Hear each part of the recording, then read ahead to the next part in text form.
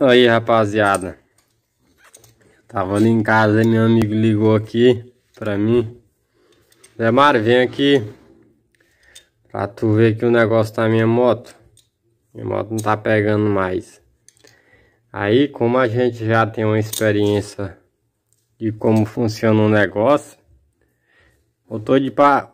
A...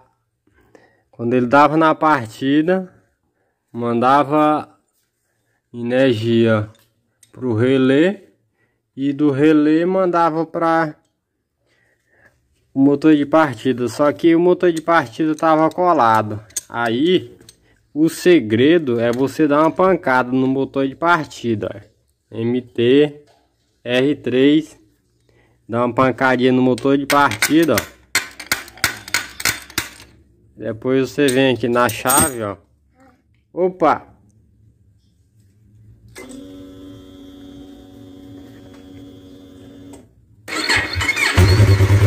Aí acabou o problema, rapaziada.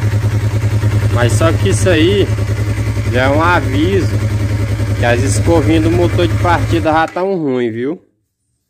Quando acontecer isso, não espere o motor de partida acabar de vez não. Procure trocar o quanto antes. E é isso aí. Tamo junto.